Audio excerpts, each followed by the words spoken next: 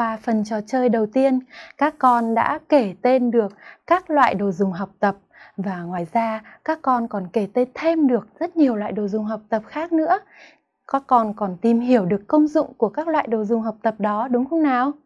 Ngoài đồ dùng học tập ra, từ chỉ đồ vật còn có rất nhiều loại khác nữa và cụ thể giống như ở trong bức tranh tới đây cô sẽ cho chúng mình tìm hiểu đó là những loại đồ dùng nào nhé xin mời các con cùng tìm hiểu yêu cầu nào.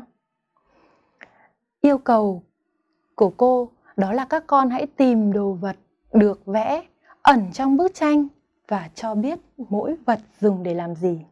Các con chú ý nhé, các con có hai nhiệm vụ. Thứ nhất đó là tìm đồ vật trong bức tranh. Và nhiệm vụ thứ hai đó là nói được mỗi đồ vật dùng để làm gì thời gian của các con. Cho bức tranh này là 2 phút. Xin mời các con. Thời gian đã hết rồi. Chúng mình tìm được bao nhiêu đồ dùng nhỉ?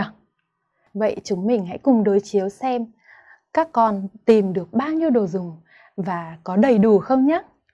Đầu tiên, cô có chiếc ghế. Chiếc ghế này hơi lăn lóc một chút, đúng không? Và cô có hai chiếc đĩa. Chiếc thìa ờ, à cái cốc cái cốc ở ngay dưới chân bạn nhỏ này này. Bạn ấy còn đội cái bát trên đầu nữa các con ạ. À tay bạn đang cầm đàn để đánh đúng không nào? Các con có biết đánh đàn guitar không? Cô thủy rất thích chơi đàn guitar, nhưng cô chưa biết chơi các con ạ.